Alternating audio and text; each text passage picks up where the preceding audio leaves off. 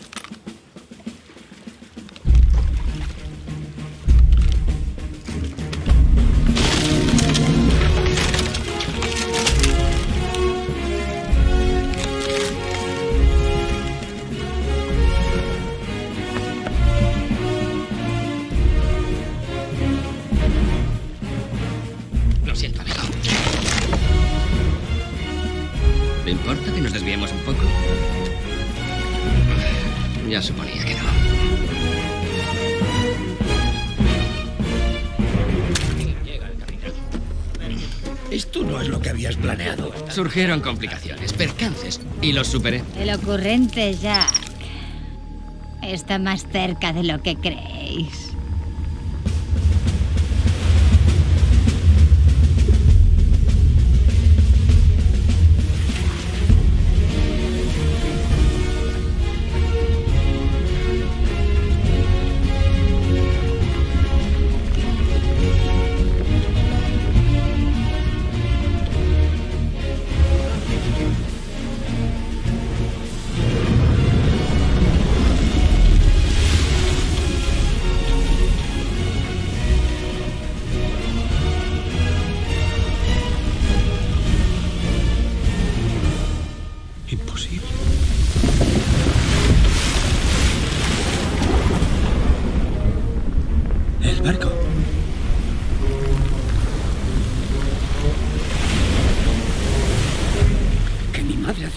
Dé tres sopapos.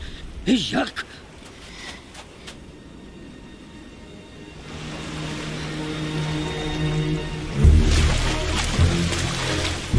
¡Es el capitán! ¡Dichosos los ojos!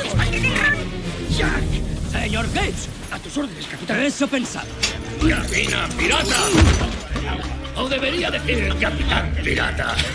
Aparece ante el tribunal el conocido saqueador y salteador, el infame pirata, ¡Silencio! Capitán Jack Sparrow. Ya os lo dije, me llamo Gibbs. Yo salí Gibbs. ¿Cuántas veces? voy a Atención, atención, preside esta sesión. Todo el mundo en pie, por favor. Su ilustrísima, el honorable juez Smith.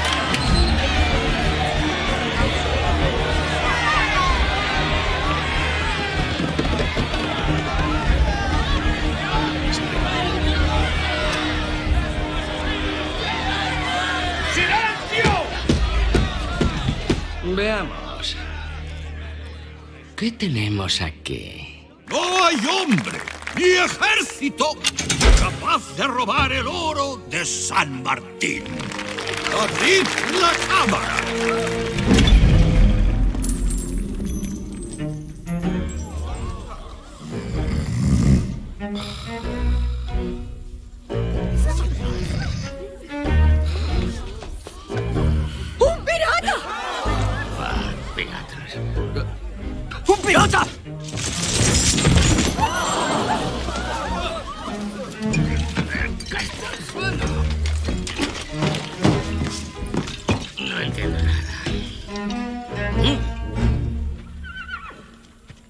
Quizá os parezca una pregunta curiosa, pero alguien podría explicarme por qué estoy aquí.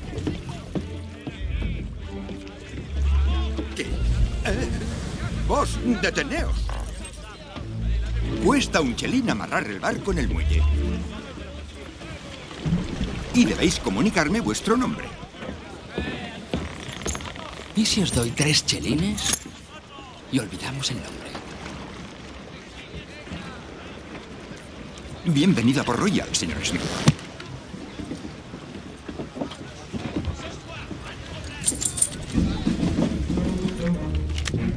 ¿Has encontrado lo que fuiste a buscar? Capitán, la tripulación, entre la que me incluyo, claro, esperábamos algo un poco más reluciente. Reluciente. Sí, reluciente. ¿Eso es lo que todos pensáis? ¿Que vuestro amigo Jack no cuida de vuestros intereses como capitán? ¡A pasear la tabla! ¿Qué ha dicho el pajarraco? No la toméis con el pájaro. Enseñadnos qué hay en ese trapo que traéis.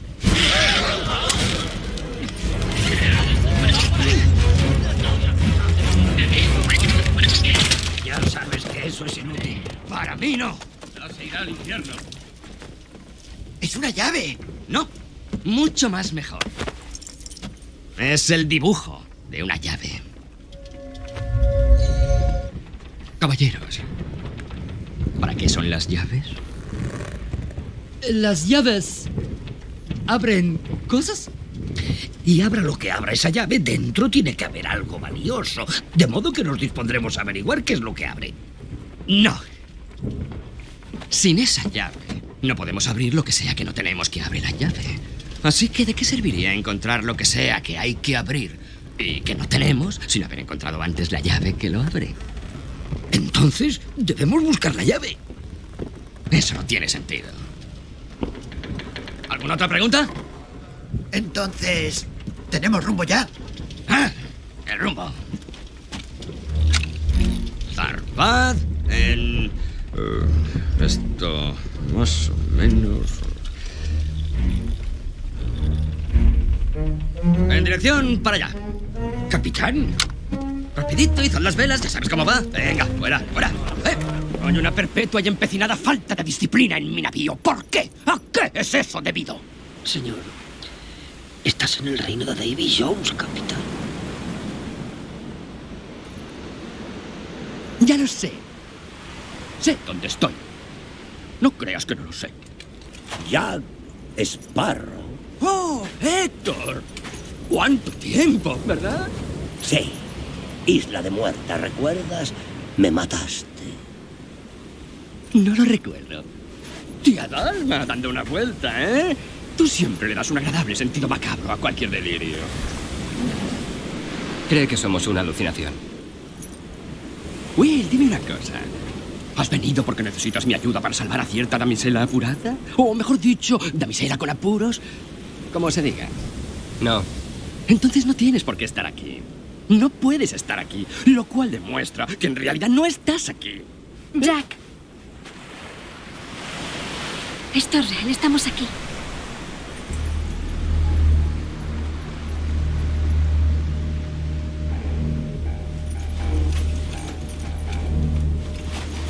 ¿En el reino de Jones, dices? ¿Jack?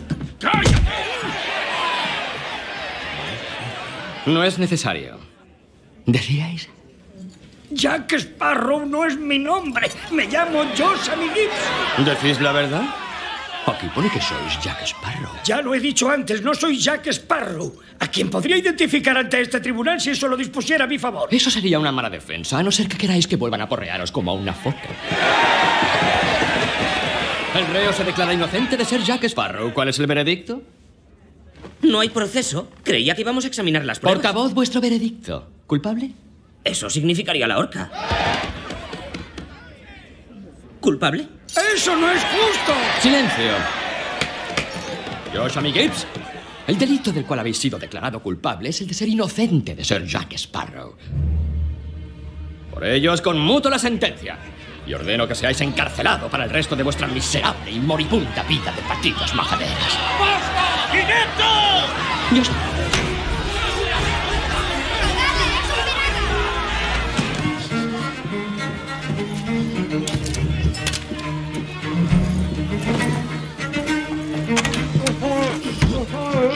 Muchas gracias.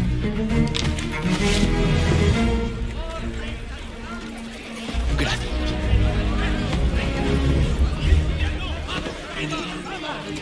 ¡Sube ahí! ¡Arriba! Un momentito que claro las ideas.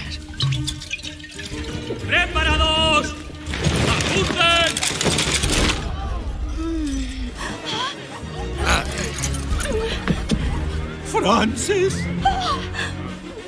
Claro, yo recuerdo. ¡He venido a robar el banco! ¡Matadle!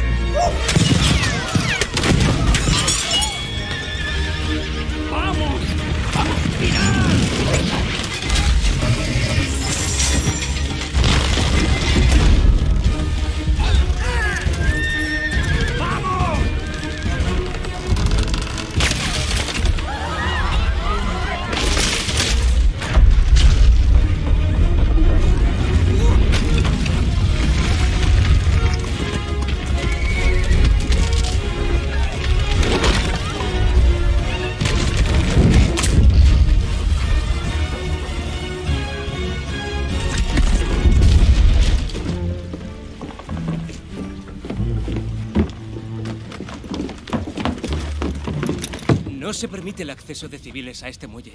Cuánto lo siento, no lo sabía. Si veo alguno, seréis informados inmediatamente. Al parecer hay un lujoso jaleo de alto copete en el fuerte. ¿Cómo es posible que dos caballeros tan gallardos no merecieran una invitación? Alguien debe encargarse de que ningún civil acceda a este muelle. Una tarea encomiable, sí, señor. Pero en mi opinión, una nave como aquella convierte a esa otra en insignificante, ciertamente. Sin duda, el impávido representa el poder en estas aguas, pero no hay nave que iguale al interceptor en velocidad. He oído hablar de una. Dicen que es muy rápida, casi inalcanzable. La perla negra. ¡Tú! ¡Sal de ahí! No tienes permiso para permanecer a bordo. Disculpad, es que es un hermoso barco. Navío. ¿Cuál es tu nombre? Smith. O Smithy, si lo preferís. ¿Qué has venido a hacer a Port Royal, señor Smith? Y nada de mentiras. Bueno, confesaré. Me propongo tomar una de estas naves, reunir una tripulación en Tortuga y atacar, saquear y robar como una comadreja hasta reventar. He dicho nada de mentiras. Creo que dice la verdad. Si eso fuera verdad, no nos lo habría dicho. A menos que supiera que no creeríais la verdad aunque os la dijera.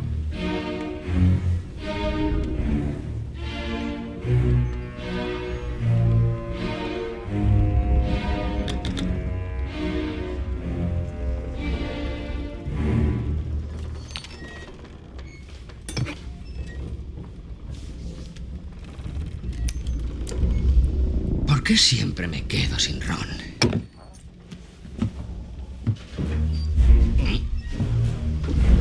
Oh. Ya sé por qué. Se te ha agotado el tiempo, Jack. Bill Botas. Bill Turner.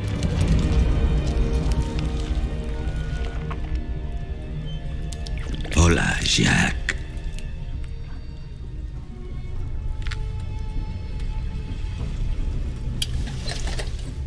Es un sueño? No.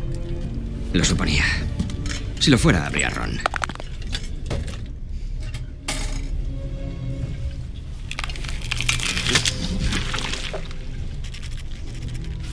Yo te defendí. Después todo salió mal. Me ataron a un cañón. Acabé en el fondo del océano. Es curioso lo que un hombre es capaz de hacer para aplazar su juicio. Tú también hiciste un trato con él. Sacó la perla de las profundidades para ti. Y durante 13 años has sido su capitán. En realidad- Jack, tu labia no va a salvarte esta vez. Las condiciones que yo pacté también las pactaste tú. Un alma obligada a servir en su navío durante 100 años. Sí, pero el holandés errante ya tiene capitán. Te enterrará en el fondo del mar. El terrible Leviatán de Jones te encontrará y arrastrará la perla al fondo del mar contigo dentro. ¿Tienes idea de cuándo piensa Jones soltar a ese bicharraco? Ya te he avisado, Jack. Se acabó tu tiempo. Ya se acerca, atraído por un hambre voraz hacia el hombre marcado por la mancha negra.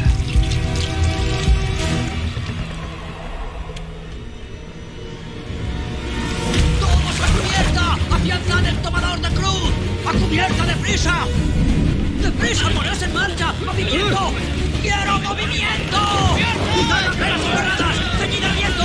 ¡Alad esas escotas! ¡Deprisa, no dejéis de tirar! ¡Apresuraos como si el diablo se cerniera sobre nosotros! ¿Ya sabes el rumbo? ¡Ah!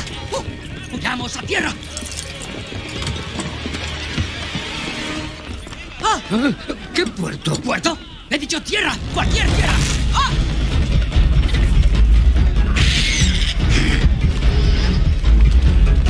¡El sombrero de Jack! ¡Mirad todo! ¡No, no! ¡Dejadlo!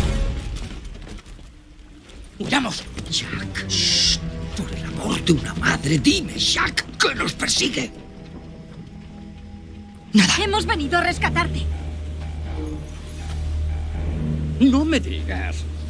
Eres muy amable. Pero en vista de que yo poseo un barco y vosotros no, vosotros debéis ser rescatados. Y no estoy seguro de que eso me apetezca. Yo veo mi barco ahí mismo. No lo diviso. Será una cáscara de nuez oculta detrás de la perla. Jack. Cutler Beckett tiene el corazón de Davy Jones. Controla el holandés errante. Está tomando los mares. La canción ha sido entonada. Se ha convocado la asamblea de hermanos. Os dejo a solas y mirad lo que pasa. Todo se va por la borda. Jack, el mundo necesita desesperadamente que vuelvas. Y tú una tripulación. ¿Por qué iba a querer navegar con ninguno de vosotros? Cuatro intentasteis matarme y uno lo consiguió. Oh. No te lo he contado. Tendréis mucho de qué hablar mientras estáis aquí. En cuanto a ti, Vamos, no irás a decirme que no disfrutaste aquella vez. Sí, tienes razón, puedes venir. A ti no te necesito, me das miedo. Gibbs, tú vienes. Marte. Cotton. El loro de Cotton no me convence, pero al menos tendré con quien charlar. ¿Quién sois? Taiwán. Y estos mis hombres. ¿En quién depositáis vuestra lealtad? En el mejor postor. Yo tengo un barco. ¿Eso os convierte en el mejor postor? Aceptado. ¡Levad anclas a vuestros puestos! ¡Vamos a zarpar! ¡Llevad anclas!